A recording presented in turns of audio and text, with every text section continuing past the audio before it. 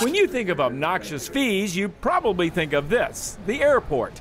But while fees to check a bag, pick a seat, or print a ticket are outrageous, at least they're infrequent. Banking fees are worse for three reasons. They're continuous, you often don't notice them, and they're hard to get around. According to a recent survey by MoneyRates.com, the average bank customer now pays $12.69 a month or 152 bucks a year for a checking account.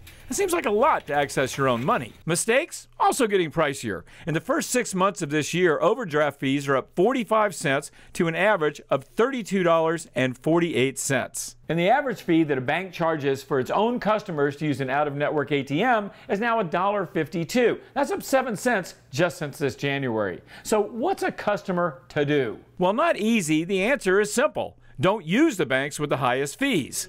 Who are they? According to money rates, the biggest banks. Here is a new concept in banking. The $3 million structure is filled with unique features. The ones who advertise the most also charge the most. Way less are online banks. They're less likely to charge checking account fees, and those that do charge less. Need in person banking? Credit unions are also more likely to offer free or discounted checking. And if you think 150 bucks a year is no big deal, consider it this way. Invest 150 bucks a year, do it for 30 years, earn 8%, you'll end up with 18 grand.